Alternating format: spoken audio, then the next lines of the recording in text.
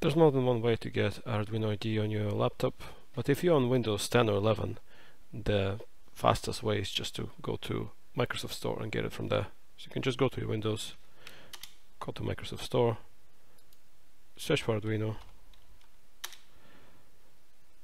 If you never installed it before, you have like a get button here. So you just click get once. Uh, after that, you just click install. Wait for the download.